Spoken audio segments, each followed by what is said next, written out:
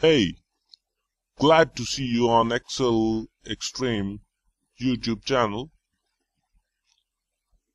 In today's session, we're gonna explain about user forms in Excel.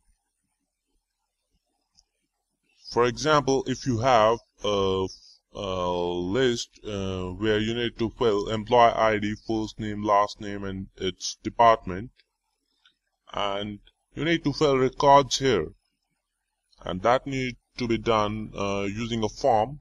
So if I click on this button it open up a form and it allow you to enter a employee ID let's say 123 and then first name let's say Mark and then last name let's say him and department tech.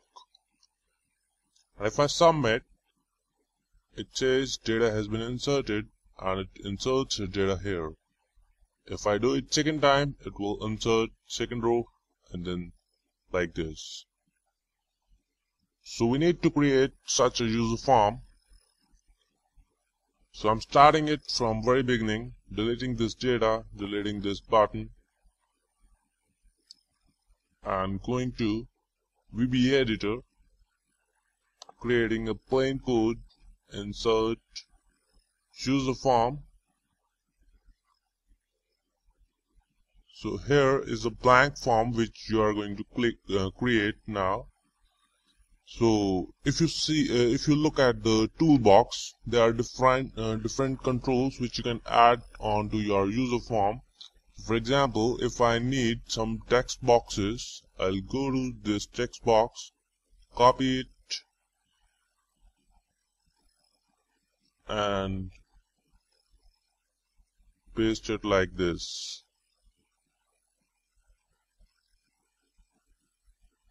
So I have four text boxes.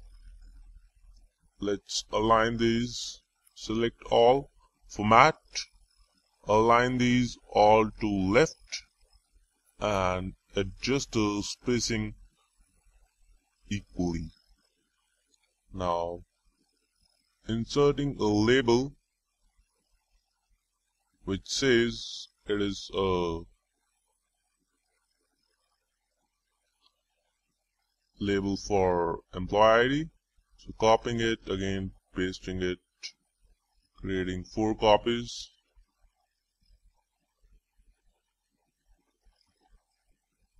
And like this, select all, format, vertical spacing, make equal, format align all them to let's left.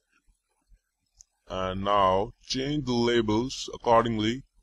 For first it need to be employee second we need to actually change the caption. Second is let's say first name. Third is last name and the last one is department. You also need a OK button which submit the results. So I'm inserting a button here expanding it a bit.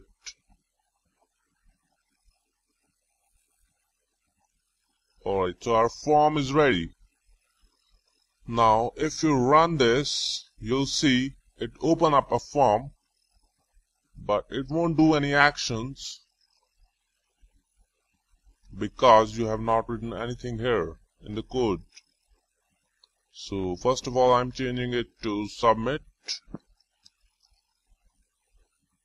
and now I need to put an action on this button click. So I'm just double clicking it. So it creates a default sub procedure which is command button 1 underscore click. So all the line of codes which I'll be uh, writing here um, will be performed when that button is clicked. So on button click, I want that uh, the data get inserted in first available row. So if I look at here, I want to go in the first available row. Uh, at this time it is second row. Let's say if I have uh, data in these 10 rows, then I want next data to come in 11th row and not in the first row again.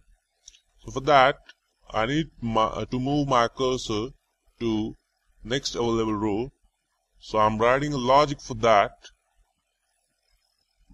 So first of all, I'm going to, let's say, 65536 dot select and that is in column A.